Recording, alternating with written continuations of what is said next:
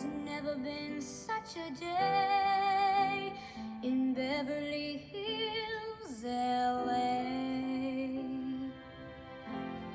But it's December the 24th.